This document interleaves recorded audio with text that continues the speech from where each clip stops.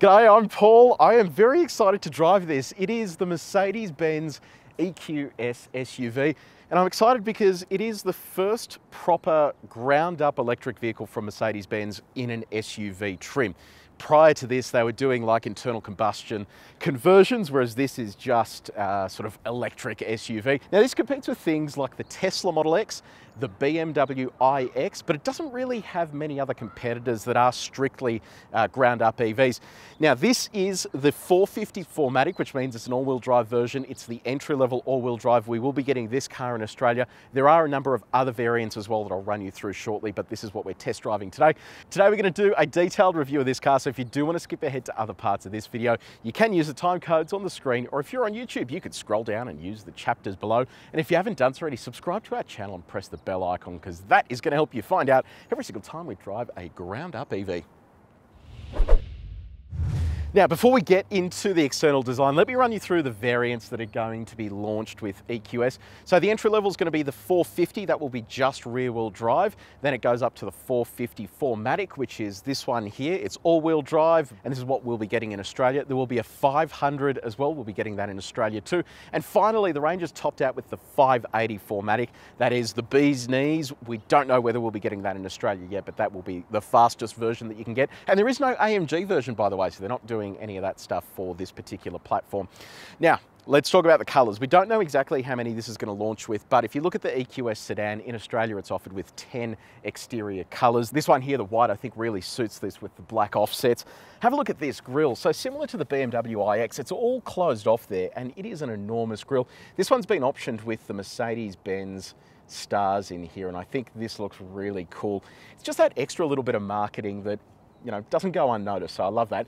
Big Mercedes-Benz logo in the center here. This doubles as a radar, but also has these little elements within it for heating. So when it does snow, this will melt the snow away. You've got a camera down here for the 360 camera.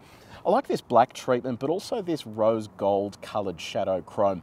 That sort of runs along the bottom there and it really sort of offsets the black nicely. Down the bottom there, you've got a set of louvers for heating and cooling the battery as well. Now, depending which market you're in, you can actually get a, a glowing Mercedes-Benz logo here. I wish we got that in Australia because that looks really cool on some of these cars.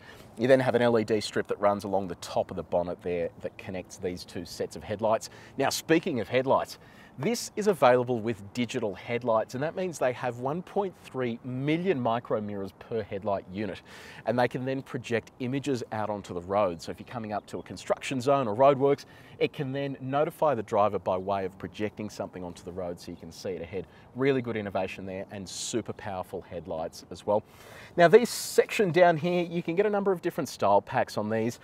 This is kind of a sporty look and you can see here they've gone to town on aero. There's like a little hole in there that spits air out around the side. And that's all partly to reduce your aerodynamic drag. Now the EQS sedan actually holds the record for the lowest coefficient of drag at 0.2. So this is obviously not going to be that low given it is uh, an SUV, but 0.2 is incredible. This won't be that much higher. It really just cuts a nice line through the air there and it reduces drag as much as possible. Now there are a stack of innovations in this car. I'm gonna try and get through as many as I can. One that I can immediately see there is a little hole there on the window. This actually works by adjusting your climate control depending on the sun position. So I'll explain that a little bit more when we get inside the car there, but that is the section that I'll be referring to when we do hop inside the car. Come around to the side here, I'll show you the wheels. So you have uh, a number of different wheels you can pick from, from 20 to 22 inches. This one here is a 21 inch wheel. You've got that chrome look on the outside with piano black on the inside. Mercedes-Benz even went to the effort of creating aerodynamic alloys as well because you can shave a little bit of drag off the car by making sure your alloys are nice and slick as the air runs over them. Everything about this car is about getting a little bit of extra range by just improving aerodynamics wherever you can. Under there, you've got a set of air suspension with adaptive damping. Given this is a Benz, I'm hoping that means it rides really nicely because I want it to be plush and nice to sit inside as opposed to sporty and rough. Um, up here, this looks interesting, doesn't it? So when you crack that open, this is actually the hole for the windscreen wiper fluid. The reason it's here is because this doesn't open, it doesn't have a frunk. Under here you have an enormous HEPA filter and inside the cabin you can actually monitor the airflow and the air quality as you're driving. So that means this is where you're gonna fill your wiper fluid. Then in addition to that, EQS up the top here, just so you don't forget what you're driving. They're working on an EQE SUV, so obviously that will say EQE when that is launched, and there's probably going to be something beneath that as well. Uh, over here on the wing mirror, you've got piano black up the top there, indicator built into there, camera on the side and an LED light there as well. Another part of the aero that they've worked on is down the side here. So this car doesn't have it, but you can option running boards. And while they help you get in and out of the car, they actually work to reduce the drag as well. So they've thought of every little bit here along the way. The door handles are really cool as well. So they look perfectly normal, but behind there, you actually have an LED that lights up the door handle. You have a chrome section along the top there. And then to get inside the car, all you do is wipe your hand there and then it pops out.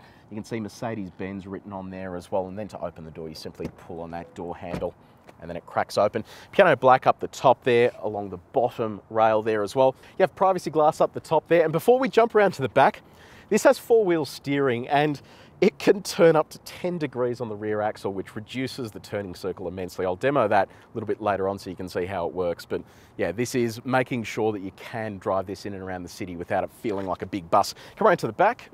Now, how big is this, I hear you asking? Um, it is slightly smaller than a GLS in terms of size, and it's also shorter than the EQS sedan. In terms of actual dimensions, it sits on a wheelbase that's just over three meters long. It's a little over five meters long, just under two meters wide, and a little over 1.7 meters tall. And you can also adjust the ride with the air suspension by jacking it up into an off-road mode that increases the ground clearance too. Now, in terms of the aero, have a look at this. They've added this section. So as air comes along here, there's a little flick there to stop turbulence building at the back of the car. So this is helping reduce that drag as well. These tail lights are full LED, but they have a 3D element in them and they're frosted as well. So they really do look fantastic at night time. EQS 450. And then over here, you have a 4MATIC badge because this is all wheel drive. You crack the boot open by pushing the Mercedes-Benz logo just there. Down here, you've got piano black and then a little bit of this sort of fake exhaust built into there as well. So let me know what you reckon about the design. Do you think the EQS SUV looks good? I'm keen for your feedback. So let me know in the comments section below. So we are inside the EQS SUV. Uh, we'll start off with the key. So here it is. You've got lock up the top, unlock boot. It's got this beautiful metal surround and then on the back it's blank. This is a proximity sensing key, so you can leave that in your pocket. Grab the door handle. Once you're inside, your start button is just here. So the design, this is full on. So this is the first time I've sat in an EQS and this one has the hyper screen, which I'll run you through shortly. But this is really just out there in terms of the way that it looks. When you consider the price that this car is going to be when it does finally arrive in Australia, it's going to be expensive, but this looks and feels like it's worth every single dollar of whatever they want to charge for it. So really nice setup. When you don't have the hyper screen there, it is a slightly different design, but that still looks nice and premium too. Um, I like these finishes here. So you have wood grain on the center there. You've got these uh, finishes along the top of the dash there as well, all the way around. Love these LEDs as well that change color depending on what you're doing. The interesting thing as well is Mercedes-Benz says that they now are able to offer an animal-free interior, including the steering wheel. So that is an option if, uh, if that concerns you. Uh, so they sort of cover all bases there in terms of design and also what the interior looks like.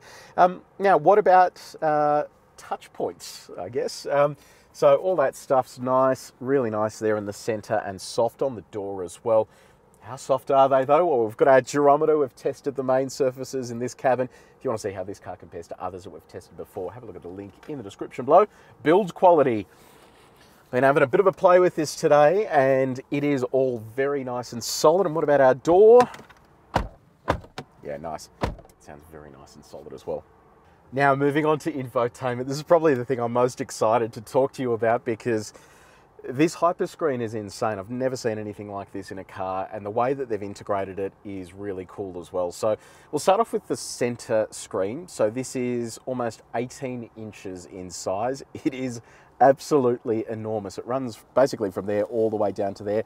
And in fact, the screen runs from here all the way to the other side of the car. So these two screens are OLED, whereas this one here is LCD ahead of the driver. These two also have haptic feedback. So when you are uh, moving around and then clicking, you can actually feel a response through your finger as well, which I think is um, really cool and just something a little bit different. It also has force feedback, so the harder you push, uh, it's able to then do different functions within that um, actual infotainment system.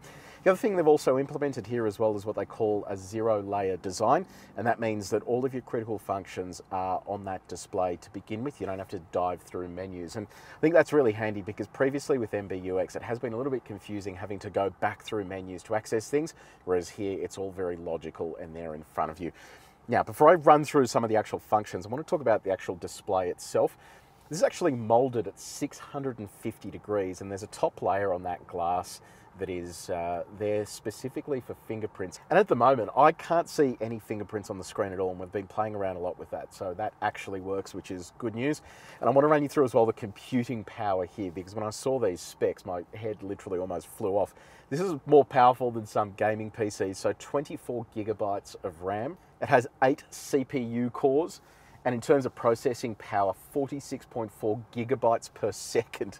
Like it is just incredible. And that's what you need to run some of the functions that the car actually needs to operate. So located in here, you have satellite navigation that's just built into that display. Um, this works pretty well. We've got it on a satellite overview at the moment. And then as you move around, it will sort of shift with it. It can be a little bit laggy at times, I've noticed, if it has to preload content. Once it is loaded, it works okay, but you can see there um, that it is sort of pretty quick. And in addition to that, on the audio front, you have AM, FM, DAB, digital radio. You also have online radio streaming, and it's all plumbed through a 15 speaker Burmester sound system. This also has 3D surround sound with Dolby Atmos. So it is a pretty full-on sound system. I don't know where you would ever need to use 3D surround sound, maybe if you went to the drive-in movies or something, but um, yeah, it's pretty cool to see that it has all of that processing power. Then on the smartphone mirroring front, you have both Apple CarPlay and Android Auto. Both of those are wireless. I'll show you what Apple CarPlay looks like. Look at that, that is like the world's biggest Apple CarPlay display. Holy moly, that is enormous. Absolutely enormous. Let's see what the maps look like. That is unreal. I love that. Um, and this is what Android Auto looks like. So again, uh, full screen integration.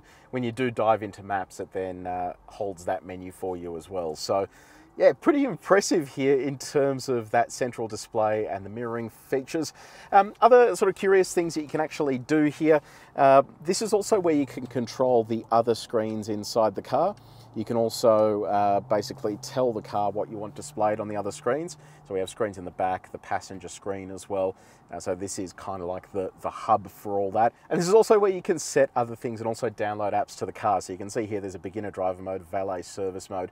These are all things that allow you to restrict certain functions of the car depending on who's accessing it. So if you've got your kids driving it, you don't want them doing skids and all that sort of stuff, you could set all that up in there. Same story with valet, they won't be able to see previous contacts and other uh, private information. You have a web browser built into here. You also have connectivity with Mercedes Me. So that is the application that allows you to connect into the car. This actually works really well and they've enhanced this massively. So you can see here, this allows you to virtually just manage all of the functions in the car, lock, unlock, charging status. You can find where your nearest chargers are. You can also set things like those valet modes, do over-the-air updates really is quite sophisticated. And just on the topic of over-the-air updates as well, Mercedes-Benz is working on bringing extra functions to these cars. So that includes things like 10 degrees of turn on the rear axle. They'll be able to update that. They'll be able to send you other functions for the car and also the infotainment system over time as well. So good to see they're getting on board that, um, that train as well. Uh, what else can I show you here on the central display? Um, yeah, look, when we go for a drive, I'll run you through some of the actual EV functions, but this is really comprehensive and I love that they've put so much effort into this. It's not just a gimmick, it's not a huge screen just for the sake of having a huge screen. It is really good to use and uh, I'm a big fan of that. Um, let's jump over to the screen ahead of the driver here. So 12.3 inch display. This is quite similar to the other Mercedes-Benz vehicles we've reviewed before, so you can change the look of that display and the theme uh, pretty sort of easily. And then in addition to that, you can adjust things like your augmented reality on the head-up display ahead of the driver, uh, things like speed limit signs and everything. You can adjust exactly what it looks like um, ahead of the driver as well. So it is just full on there in terms of what you can do. Um, let's jump over now to the passenger side display. So this is also a 12.3 inch display. Now the reason the camera angle is so weird is Sean is actually in the car now. You have to be sitting there for this to work. Um, so we'll switch that on. So you can see here it kind of mirrors the main display, you can then adjust what you want loaded onto that display. So you can have images, you can go through all of the vehicle settings there as well, should you so desire. Uh, it is sort of quite comprehensive. In addition to that, you can also display different images there. So depending on what you want it to show, if you don't really want any of the interactive stuff, all you do is set the display to have uh, passenger screen decorative image. You can just then switch to different images there as well instead of having the actual active display. Now you can also play video over here and the cool thing is if you do decide to play video or watch some television, if the driver puts their eyes on the screen to watch as well, it has a two second timeout. Once you hit the two seconds, it will basically stop the screen from displaying anything. It's actually a set of cameras up here and when you do glance over here, it'll give you two seconds before it switches that screen off entirely. But I hear you asking, how does it know whether you're looking at the screen or the actual wing mirror? Well, the cameras are able to use the angle of your face in relation to the seat position to see when you are looking at the mirrors, and it will just ignore the fact that there's something playing here. So it is some incredible technology here. And look, will passenger side screens take off? I don't know, but I think it is pretty cool that this stuff exists. The fact that you can listen to audio from that in headphones or separate to the driver, I think is pretty cool. Now, safety technology, as you can imagine, this thing is jam-packed full of safety gear. So you have autonomous emergency braking with pedestrian and cyclist detection. You have an auto-dimming rear vision mirror there, sort of nice and sleek as well. In addition to that, you have blind spot monitoring built into the wing mirror, rear cross traffic alert, front cross traffic alert. You have radar cruise control with uh, lane keeping assistant, lane departure warning, semi-autonomous steering function. One of the other things they've talked about bringing in as an over-the-air update is level four autonomy for car parks and other bits and pieces, which is pretty cool. Um, on the parking front, you have both front and rear parking sensors and a 360 camera. I will show you what that looks like. It's actually surprisingly good, like it's quite high resolution around the edges there. And then what you can do is whip the camera around as you go just to see what you're near. And then you have these presets as well. So you've got curb cam on both sides. Then you can go wide on the rear and then even super wide as well if you want. So you can see our suitcase there pretty clearly. Front view as well, again, wide and super wide. So yeah, pretty impressive camera setup there. On the parking assistance front, let's have a look at that. Um, this has like a semi-autonomous parking function, so it shows up here, but it also shows up here on the screen when you come to a spot where it can then automatically park for you. So yeah, pretty impressive camera and parking sensor setup. Moving on to practicality and we'll start off with your connectivity. So behind here you have two USB-C slots, you have a wireless phone charger. Down the bottom here you've got another two USB-C slots. In the center console here you've got another two USB-C slots. So you have stacks of connectivity within the car. Hidden under there is a 12 volt outlet. In terms of storing your phone, where's it going to live? Well, you can whack it down there on the wireless phone charger or literally you've got a litany of other places to put that, which is really cool. Bottle storage, it lives in here and you can also fit it inside the door without any problems. This has teeth in there as well. You can also get rid of those uh, cup holders too, should you so desire. Now, the interesting thing as well is the coffee cup. So because we are in the States, I thought, well, let's just use a American Paul size coffee cup. And as you can see, that kind of fits in perfectly as well. Now, what about your other storage? So you've got storage room in there. This center console is huge and it's really nice and deep as well. They are fully utilizing the uh, maximum space they can with this EV platform. Down here, you've got even more storage. And finally, you have a glove box over here. Glove box is not all that big, but it is okay. But um, yeah, I am pretty impressed here how they've been able to package everything and give you as much storage as humanly possible. Let's talk about comfort now. So you have quad zone automatic climate control. So two zones for the front here, two for the second row. Front seat also comes with heating and cooling for the seats and the steering wheel. You have this enormous HEPA filter, which is what exists under the bonnet there, which is why you can't open it. Uh, and I love the fact that when all this stuff is on, you actually get a reading both inside and outside the car in terms of the air quality, which I think is, is quite fascinating. Now, I did touch on this very briefly early on when we were talking about outside the car, but those sensors down the front there, they're actually there to help distribute flow around the car. And we'll see if they actually work when we go for a drive later. When I say flow, I mean climate flow. They're designed to basically pick up where the sun is sitting, the temperature outside, the temperature inside, and then adjust airflow as required.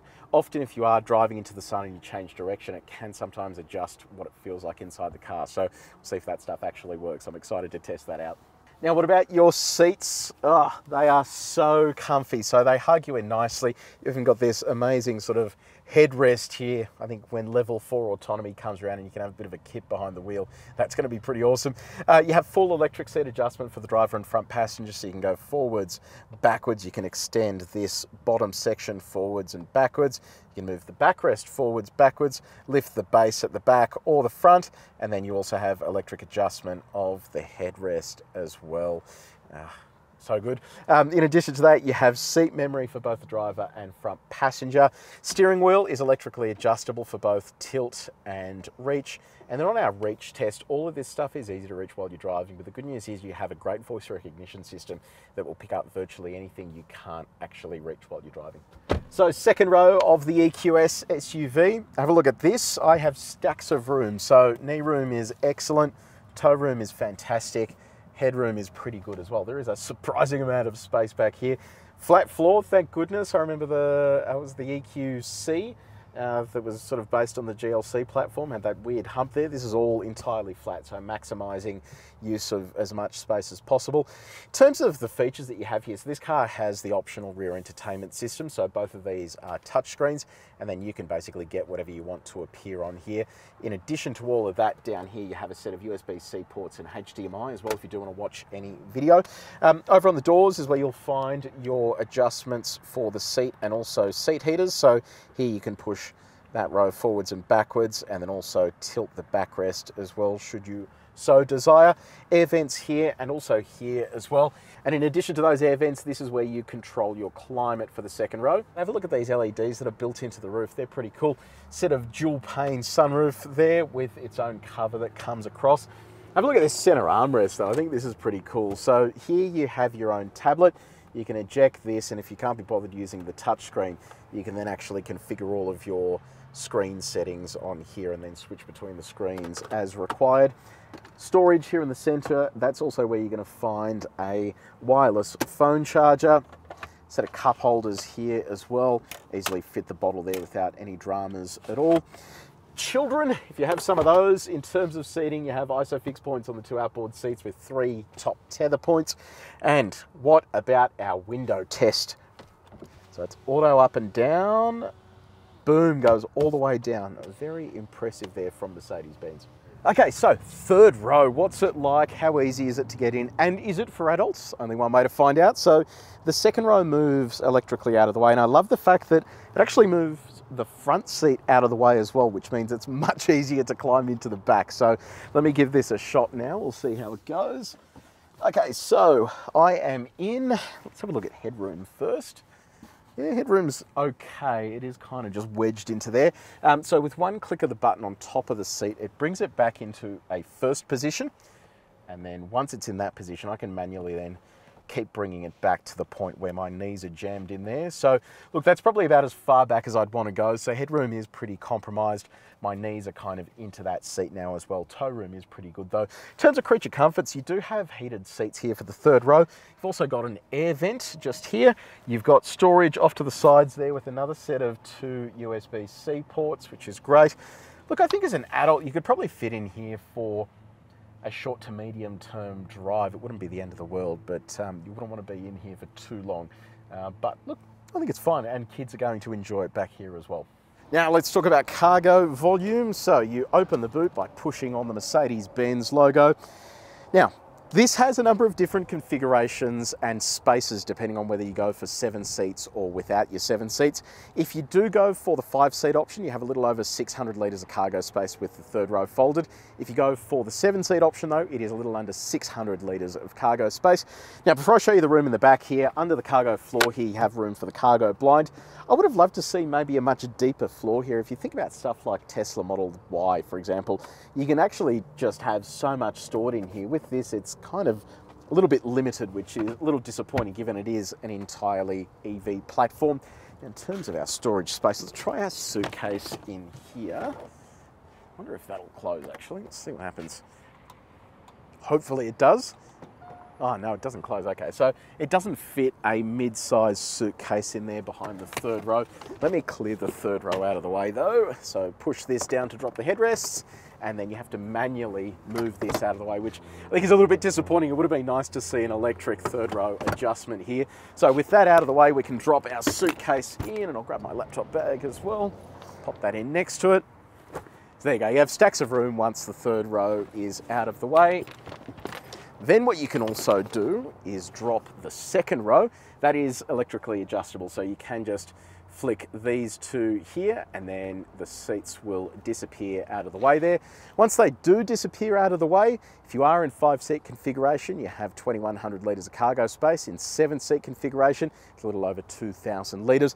And it is worth pointing out as well that you have a 12 volt outlet just off to the side here as well. Now, before we go for a drive, I want to show you this. So this is the charging port and it's going to come with a number of different options depending on what you want to spec. So you have both AC and DC charging. Here for the States, you have a different type of charging plug, but in Australia, it will be a type 2 plug and a CCS type 2 combo plug. It comes standard with 11 kilowatts of AC charging, but you can get the optional 22 kilowatt three phase charger. So that will put a little bit more juice into the battery. The battery is big, it's about 110 kilowatt hours, so it is a mammoth battery. And in terms of the DC charging capacity, it will run it up to 200 kilowatts and it will sustain that for quite a long time as well. So it does mean that this will be quite a quick charge when it comes to it. It is on 400 volt architecture, they haven't gone to 800 volt like some other brands, uh, but they think that this is the way to go. So um, yeah, look, this all looks pretty good to me and uh, nothing sort of too out of the ordinary here. So I've just hit the road in the EQS SUV. I know I keep saying this whenever we review electric cars, but damn, this is so quiet in here. And I don't know, I think this is the big difference with uh, brands like Mercedes-Benz now sort of fully getting into EVs and this being on a dedicated EV platform. It's going to mean that we'll see big advancements in terms of refinement and stuff that we kind of haven't seen yet in the EV space. So um, that is a big bonus. So Right now, we're driving the EQS SUV, the 450. So it's the entry level all wheel drive version. This is the car that we're going to be getting in Australia.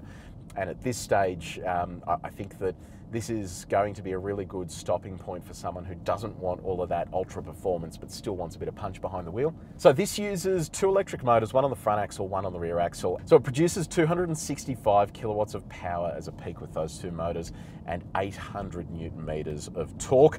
Now, what does all that feel like behind the wheel? We'll see if this does all of our fun EV stuff. We'll give that a punch. Yep. Can confirm it does. It really sort of pins you back in the seat. And look, I think that's what you come to expect with these EVs. And you've got to consider with this car, it has an enormous battery. It means that it is big and heavy as well. So when we go for a bit more of a spirited drive, I'm keen to see what it feels like. But it is good to see that it does have that poke behind the wheel. Now, in terms of the other specs that are available for EQS, if you are watching this outside of Australia, you have the 450 entry level, which is just rear wheel drive. You've got a 500, which is a 4MATIC all wheel drive version. And then the top spec is the 580, which is, uh, you know, the, the powerhouse. Um, we'll put the numbers up on the screen because it'll be a little bit too confusing if I run through everything. But as you can see, having almost a thousand Newton meters of torque means that this thing will absolutely not dawdle. And that is kind of regardless of which uh, variant of the EQS SUV you go for. Now there is something fascinating that goes on here with the all-wheel drive system. They actually decouple the front axle regularly. And, and the other thing we noticed as well, at low speeds, they'll also actually operate it as a front wheel drive if they need to. So depending on which situation is going to be the most efficient, they're basically taking the approach that we will then use that set of motors. So in some instances, you might have better rolling resistance from uh, the front axle compared to the rear axle. Uh, it might be more efficient to accelerate with the rear axle, so they will pick those as they go. And it means that when you are just cruising along, typically this is only powering two wheels. Now that is important in an EV because you can do that instantaneously. It's not like a, an internal combustion car where you have to have a clutch pack or you have to always have one of the axles spinning up to have instant torque. Because this is a fully electric system, everything is always available immediately or alternatively you can switch it off and have it re-engage immediately as well. And you really don't feel anything behind the wheel. When you go for the throttle, it just hits you in the back. There is no delay everything happens just as you would expect it to happen in a, in a product that has zero lag. Now let's talk about our regen modes. So Got a number here to pick from. Um, I'll start off with normal recuperation. When I roll out of the throttle, it starts sort of slowing down gradually. If I do want to increase the recuperation, I can use the paddle shifter here on the steering wheel to go to strong recuperation. That slows the car right down, but it won't bring it to a complete stop. Once we get to a lower speed, it will then eventually just sort of roll, roll along sort of at, a, at a sort of constant pace. You can then go to no recuperation, and that means if you do let out of the throttle, it just coasts and you're not sort of getting energy back into the battery pack. They do have one final mode here, which is intelligent recuperation. What that does is it uses the GPS to see where you're driving, but in addition to that, it can also bring the car to a stop if you're approaching an intersection and the Distronic, the radar system, has detected a car stopped ahead of you. Look, in theory, it makes sense, but we did test out a little bit when we left uh, sort of Denver downtown, and it didn't really work that well. It sort of didn't really pick up cars until the last second, and then uh, the other problem is if you're coming up to a red light where there aren't any cars stopped, such as you being the first to approach, it's kind of a bit pointless because it won't come to a stop. Whereas something like a Nissan Leaf or a Tesla, or even the Hyundai Ioniq 5 and the Kia EV6, they will do a traditional uh, single pedal driving mode where it will come to a complete stop regardless of what's ahead of you. So I think that is probably a better option, and hopefully that's something they can deploy with an over the air update. And just also on that with brake pedal feel, did notice here when we are in the strong recuperation mode, the brake pedal is actually um, actuating on its own. And in the other EVs I've tested, that doesn't actually happen until the car comes to a full stop if you are in a single pedal driving mode. And here I'm finding it a little unnerving because if I roll out of the throttle and go to the brake, it's in the process of pushing the brake. And then when you go for the brake pedal, the pedal is really hard. So it does have that stopping confidence, but you really have to dive onto the brake pedal. And yeah, it just doesn't really sort of um, fill you with confidence when you hit it for the first time. Now, what's the ride like? It is absolutely sensational. So, depending on the country and the spec and stuff like that, you can get this with air suspension, and that's what we have in the car today. And that air suspension comes with adaptive damping as well. And Mercedes Benz, they're known for having a ride that is sensational, regardless of the type of road that you're on. And this is no exception to that to that rule. It really is nice and smooth. When you hit potholes, bumps, you don't feel anything coming through the cabin. It's all isolated within the body. Um, and it also has an off-road mode. Later on, we'll do a tiny bit of off-road driving. I'll show you what that looks like. But in the off-road mode, you can jack the suspension up by about 25 millimeters, and that will give you that extra clearance if you do want to do any lighter off-roading. Now, let me point out something else cool here inside the cabin. It comes with augmented reality for the navigation, and we have seen this before in Mercedes-Benz products, but I think the implementation here is sensational. So on the head-up display, that display is 77 inches in diameter when it's projected onto the road ahead of the driver. So it is enormous. Uh, in addition to that, on the central display here, the augmented reality actually overlays a camera image of what's coming up and then gives you arrows telling you where you need to go. And the other amazing feature as well, and I have no idea how this works, on the head-up display, it tells you which lane you're in. So normally a head-up display will tell you, okay, you need to turn off soon. This will actually tell you which lane you're in and then which lane you need to be in to make the next turn. So it is pretty awesome technology that's fitted here as standard. Now, I did mention when we were outside the car, all the sensors and stuff for the climate control. It is working remarkably well. So as we're going down this mountain and going through switchbacks and stuff, can actually feel that the cabin just feels really nice. There's no requirement for me to touch any of the controls. It actually just feels really nice and calm in here. So um, the system definitely works. Uh, I know that it won't work for my wife though, because regardless of what the temperature is, she always wants it to be like a polar blast on her face. Uh, it's just, I don't know, she's, she's a strange person. So, um, but yeah, it seems to work well here for normal people like me. Right, let's talk drive modes super quickly. So you activate them here on this sort of lower section and you can choose between off-road, eco, comfort, sport and individual. Let's pop it into sport. We'll go for a little fang up here and see what it feels like. Okay, so let's get stuck into this. So immediately I can feel there's a whole lot more acceleration there. It's a whole lot, uh, whole lot more eager to sort of get up and moving. Still not loving that brake pedal feel. It's sort of um, yeah, it doesn't really inspire much confidence. I can jump on the pedal, but then it's, yeah, not very confidence inspiring. Um, but in terms of the body, it's, um, it's actually sitting nice and flat. So you've got anti-roll mitigation here and it's, um, it's actually working really well. As the body tips in, you can sort of feel it hunkering down the other side of the car, and then you can just punch it out of a corner, and it sort of has that um, has that sort of confidence inspiring feel as you sort of tuck it in, especially with those rear wheels assisting you with the turning. You can really dive into these tight corners and it sort of just just does its job really well. So it is a good sort of electronic torque vectoring system. On the tighter stuff too, it is surprising how something this size can actually feel nimble behind the wheel. So yeah, look, it's um, it's actually pretty impressive. I wasn't expecting something this big to be as uh, as nimble or agile as it is. It actually does a really good job of just hunkering down and giving you that confidence behind the wheel. Now let's talk 0 to 100. So we stuck it up against our V-Box and we came back with 5.6 seconds, which isn't too bad for a vehicle this size and also isn't too bad given that this is going to be the entry level variant in Australia. Let's talk about visibility. So this is a big vehicle. Yes, it is slightly smaller than the EQS sedan, but it does still feel big here behind the wheel. And look, it's not such a bad thing. I don't actually feel like it is it is too big, so I can clearly see down the front corners there. Uh, visibility out the back isn't too bad. Keep in mind though, if you do have your third row deployed, visibility will be a little limited there. Uh, visibility out the sides is fine as well. Those wing mirrors are big enough and they have blind spot monitors built into those. And then when you are parking, I mean, it has a litany of parking sensors and a litany of cameras to make sure you don't nudge or hit anything while you are driving.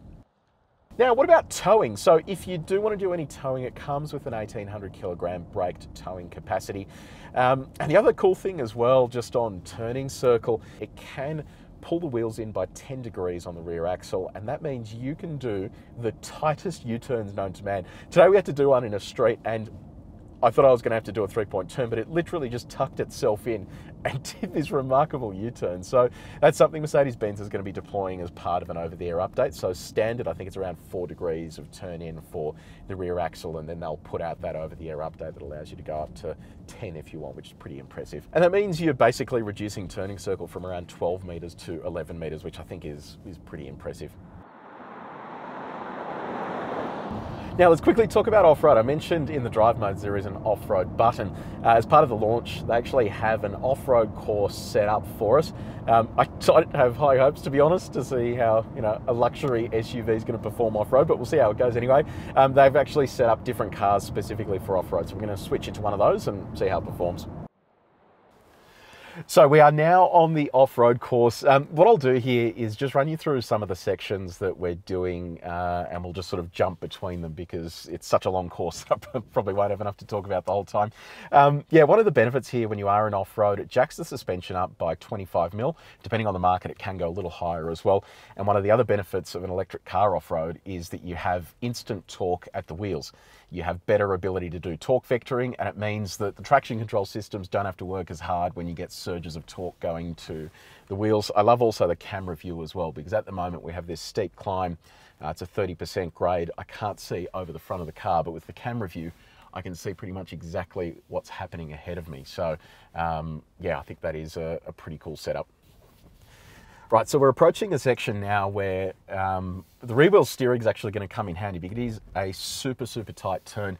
Um, but just before we sort of arrive to there, it's quite rocky along here. It's actually pretty impressive how smooth and comfortable this is, given how rocky and rough this terrain is. Uh, the air suspension is actually leveling it out really nicely. So this tight turn here, there is no way you would be able to do this in most cars because it's a tight turn and then a climb through these trees. But because we have that steering angle on the rear axle, it's actually letting us tuck it in really nicely there. And then you just lean on the throttle out of here and it just really easily gets in there. So yeah, so impressed with this. And this is also great as well because we're trying to get through these trees here. And again, I can't really see much, but the camera is showing us sort of exactly where we're going so I don't rip the front end off this new car. So we've got a long climb here. It's like a 30% grade, which is almost 20 degrees. To put that into context, um, if you watch some of our other videos where we do off-roading, we're climbing a 25 degree climb. So it is pretty steep here. And one of the things that the Benz guys have done to these cars, they're standard outside of the tyres and the tyres on these are kind of like a pretty much a mud terrain, all terrain tyre.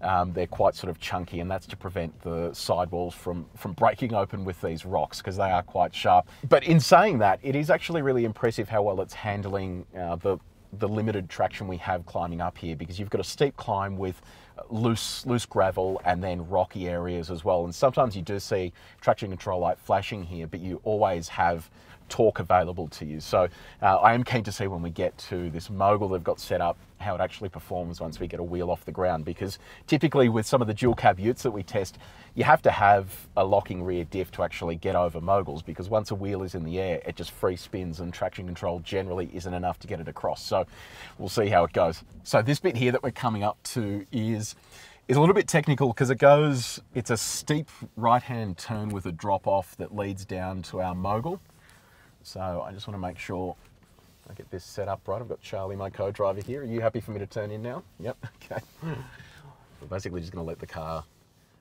drop in here. wow. It is, um, yeah, that is some, some serious terrain there because literally had a wheel off the ground there as it was descending. And it's weird with the regen in the mode that it's in, I'm able to ride the brake and it's it's then using a mix of engine braking with regen as it goes down. So you're always you're always slowing down a little bit without having to do anything, which I think is pretty cool. Um, next up we have our moguls. So I'm just going to set up for this. And I'll do what we do with all of our dual cab utes as well, which is basically dropping it into the mogul. We'll let it settle for a bit and just see how it goes in terms of um, traction the offset mogul. Uh, this is way steeper than the one we have at home, so I'm keen to see how this goes. But I'll drop this in so we get that rear tire off the ground. So there it is there. And right now all I'm doing is just leaning on the throttle as it comes through. And it's doing a remarkably good job here with the stability control. It's just managing all of it. And that's the benefit you have with two electric motors because it can just send torque wherever it needs to go. We've got the front wheel off the ground now. I'll just roll back into the throttle as we drop into this part of the mogul. that is seriously good. I'm so impressed with that.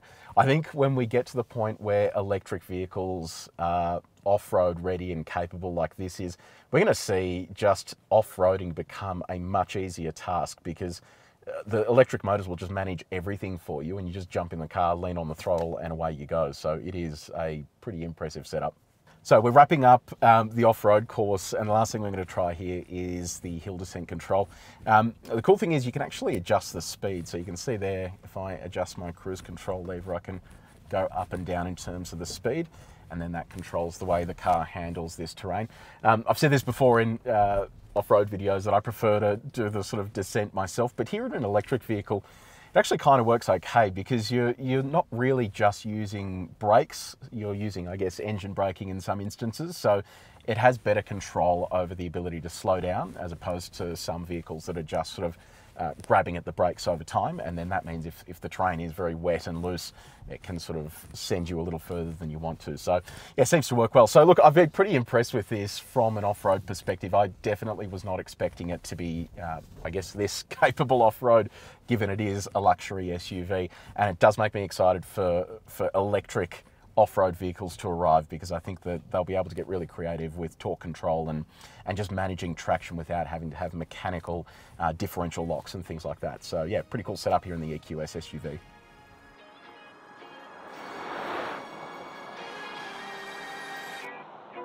So the Mercedes-Benz EQS SUV, I'm really looking forward to getting this back to Australia to see what it's like on our roads because I've been pretty impressed with it here and also impressed with it off-road. I really wasn't expecting it to be that capable and I think that if you are buying one of these as a family, means you can go do a bit of light off-roading, going camping and stuff like that and not be too concerned about this getting stuck just because it is an electric vehicle.